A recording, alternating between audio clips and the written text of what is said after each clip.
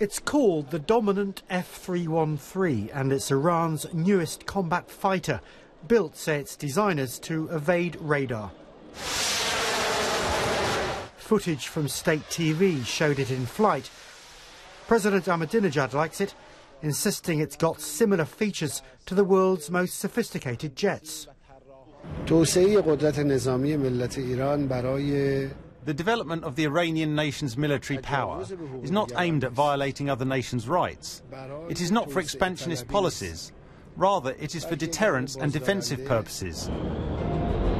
Aircraft designed to evade radar are nothing new.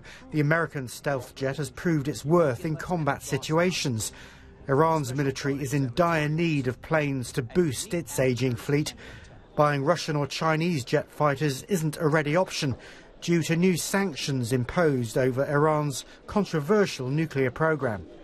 Western analysts say it's still too early to know if Iran has finally got its own 21st century stealth fighter off the ground. Russell Trott, BBC News.